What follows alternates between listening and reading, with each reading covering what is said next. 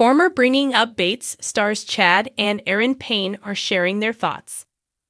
Hello, everyone. Welcome to my channel. I hope everyone is having a wonderful day. Before starting the video, please go ahead and hit the subscribe button and give this video a like up. About having more kids after the birth of their miracle baby Finley. Is baby number six in their future? Or is that even a possibility? Keep reading for all of the details and see where the Bates daughter and son in law stand on family planning. In January 2022, Chad and Erin welcomed their fifth baby, Finley Marie, to the world. She joined her four older siblings, Carson, Brooklyn, Everly, and Holland. The couple refers to her as a miracle. Prior to conceiving Finley, Erin underwent three different surgeries. She ended up having a full ovary and two thirds of the other one removed. It seemed unlikely that she would ever get pregnant again. After the surgery, Chad and Erin made it clear that another pregnancy would be a huge miracle.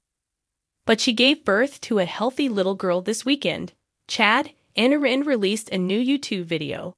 This time, they filmed a 40 minute Q and a session and addressed the questions they receive most frequently.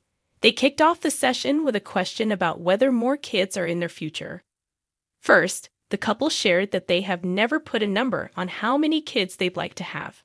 When they got married, they said they wanted a large family. Then, they talked about whether baby number six is a part of their plans.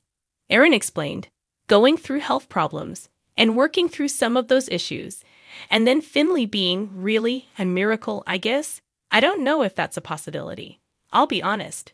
Chad added that he doesn't know if it's a wise thing with Erin's health and situation. Erin Paine chimed in and said she doesn't know if she could even have another baby. So we're just taking it one day at a time, and we're content with the children God's given us. She added that they would absolutely love another kiddo in the future. So, does Chad and Erin Paine's response surprise you? Do you think they might end up having another baby in the future? Sound off in the comments section below. And come back to TV shows Ace for more news about the Bringing Up Bates family.